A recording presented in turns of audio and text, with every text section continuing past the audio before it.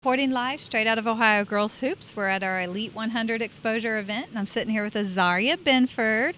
Azariah, your class of 2021. Yes. Okay, and what position do you play? I play point guard and shooting guard. Oh, So, since you're a point guard and shooting guard, what's your favorite thing to do on the court?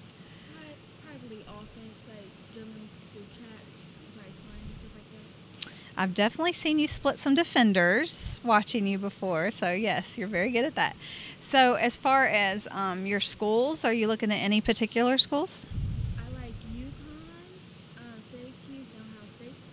UConn. See, Geno, we keep getting UConns. And Syracuse, I think we've heard that a couple times today. So, how about um, your experience here? It was good. They had good competition, and I think I could have done a lot better, but I had my share too.